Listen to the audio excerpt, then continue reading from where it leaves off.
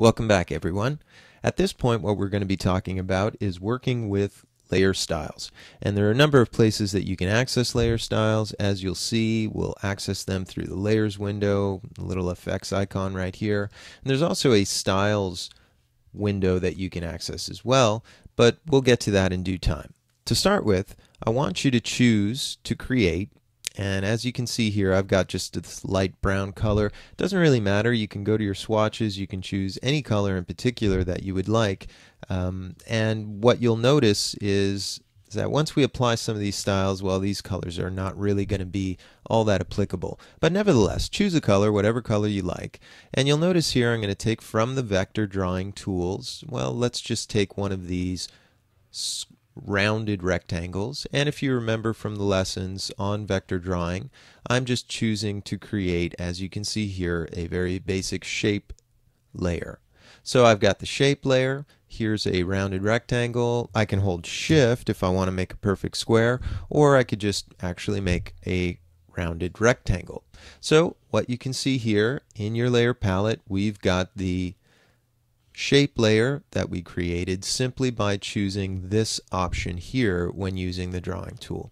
Now if you're working with everything at default which is exactly what we have here then all you've got is a little icon showing you the color. You'll notice there's a little line around it but if you remember once we click on the stage and deselect that particular item again because I'm using auto select layer if I click on the stage here I'm deselecting the item and we don't see that little path around it. So let's just select this item right here and what we can choose to do at this point is to click on the effects little icon right there and you'll notice that there are some effects. Now we're not going to talk about blending options right now but we will talk about things like drop shadow. Check it out. If I come in here and I click on drop shadow what it now shows me is that I'm going to have the option of applying a layer style. I can choose to make this active or inactive. And you can see just by doing that what happens in the live update on the stage in your canvas right here. Well, you'll notice that we have some drop shadow information. And there's a preview that's going on here. You can uncheck that preview if you wish. However, as you'll see here, we're working with black, which is set to multiply mode. Now, multiply mode is going to help it to create that overlay effect that we see here. Now if this was in normal mode, wouldn't really show up all that different because it is sort of blurry and it is sort of made opaque as you can see here. So we can slide this back and forth.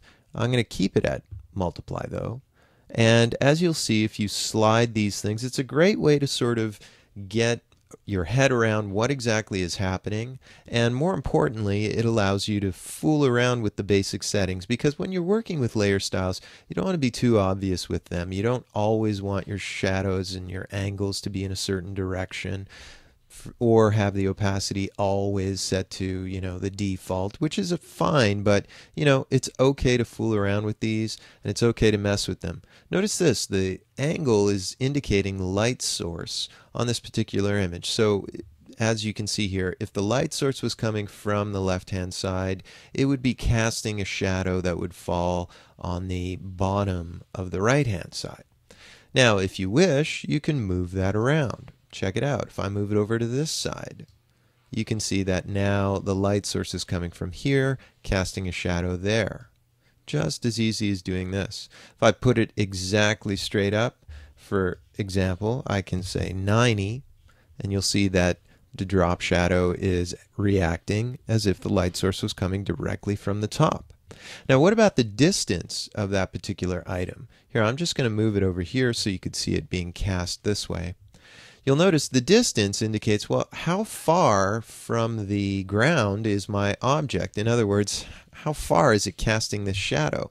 So as you can see, if I really exaggerate that, that's way far away, or I can bring that even closer, as we see here. Also notice that you have something called spread, which is, you know, doing what you might imagine it would do, and the spread will indicate how far your gradient is created. Or in other words, you see sort of like a fuzziness around that area. And here I'll just move it out like that. The spread indicates, as you can see, exactly how much of that you've got going on here. And there are times when you don't want to have any of that. And if you just keep it down at zero, you'll have something close to what the default is. If you increase the size, you can see how that blurriness is really going to be affected here. So even if you have the spread at zero, if you decrease the size to zero as well, well, that is going to give you a much cleaner edge to your drop shadow. So you see, no matter where you end up creating that drop shadow, uh, this one is instead something that is not as. Now notice this. See, if I put the opacity to 100%, you'll notice that, of course, it's not as fuzzy as it was before, and it's giving you a harder edge. So that's a little bit about working with the drop shadow layer style. Let's come back and we'll explore some of the other ones as well.